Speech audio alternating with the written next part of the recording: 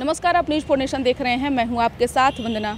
केंद्रीय मंत्रिमंडल में बड़ा बदलाव होने जा रहा है। बीते कई दिनों से इस बात की संभावना जताई जा रही थी। हालाँकि अब वह संभावना पक्की हो चुकी है, क्योंकि पाँच जन के ट्विटर हैंडल से ट्वीट किया गया था। हालाँकि कुछ ही देर के बाद वे ट्वीट ट्वीट को डिलीट कर दिया गया, लेकिन इसी बीच बीजेपी के कई बड़े लीडर थे जिनकी नज़र उस ट्वीट पर पड़ी, और तब से यह चर्चा का विषय बना हुआ है कि छब्बीस सितंबर से लेकर अट्ठाईस सितंबर के बीच किसी भी दिन मंत्रिमंडल का विस्तार हो सकता है। आपको बताते चलें कि नरेंद्र मोदी के कैबिनेट में दो मंत्री को ड्रॉप किया गया था। एक थे बीजेपी कोटे से रविशंकर प्रसाद और एक जदयू कोटे से आरसीपी सिंह। हालाँकि अब आरसीपी सिंह को जदयू से बाहर का रास्ता दिखा दिया गया है।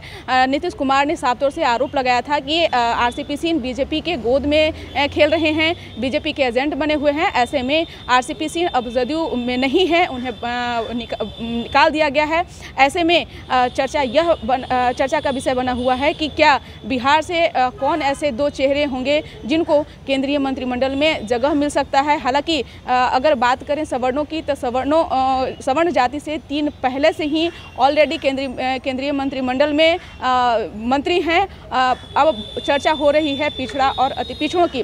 आपको बताते चलें कि चिराग पासवान, नरेंद्र मोदी के काफ़ी करीब हैं और बात उठ रही है आरसीपी सिंह को लेकर के भी कि क्या आरसीपी सिंह को भी बीजेपी कैबिनेट में जगह दे, दे सकता है या फिर चिराग पासवान को कैबिनेट में जगह मिल सकता है क्योंकि जिस तरह से 2024 में लोकसभा चुनाव होने हैं भाजपा से अलग होकर बिहार में नीतीश कुमार महागठबंधन की सरकार बनाई और नीतीश कुमार ने यह भी कहा कि देश के तमाम विपक्षी पार्टियों को एकजुट कर भाजपा को परास्त करना है। ऐसे में क्या बीजेपी जो है पिछड़ों और अति पिछड़ों को जगह दे सकता है? क्योंकि आने वाले वक्त में जिस तरह से जाति समीकरण को लेकर राजनीति होती है है। ऐसे में अगर अति पिछड़ों और पिछड़ों की की जगह जगह कैबिनेट में दी जाएगी तो बीजेपी का कुनबा जो है और भी मज़बूत होगा। ऐसे में देखने वाली बात होगी कि वो आखिर दो कौन ऐसा चेहरा है जिसको नरेंद्र मोदी अपने कैबिनेट में शामिल कर सकते हैं।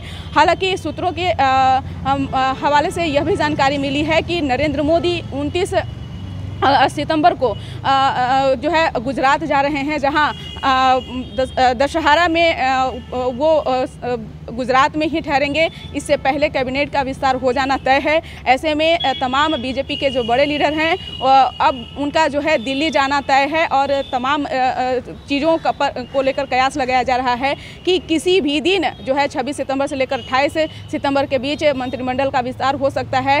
हालाँकि कौन ऐसे कौन वो चेहरा है जिसको मंत्रिमंडल में जगह दिया जाएगा? इसकी जानकारी नहीं है, लेकिन आपको बता दें कि एक बार फिर से मोदी जी जी के कैबिनेट में बड़ा बदलाव होने जा रहा है, लेकिन चर्चा यह हो रहा है कि पिछड़ा और अति पिछड़ों को जगह मिल सकता है तो आखिर वो कौन दो चेहरा है जिसको कैबिनेट में शामिल किया जाएगा, ये तो भविष्य के गर्भ में है। हालाँकि इससे जुड़ी जो भी अपडेट मिलेगी, वो भी हम आप तक तो ज़रूर साझा करेंगे। इस पर बस इतना ही, बने रहिए न्यूज़ फोनेशन के अब तक हमारे चैनल को सब्सक्राइब नहीं किया हैं तो कर लीजिए धन्यवाद।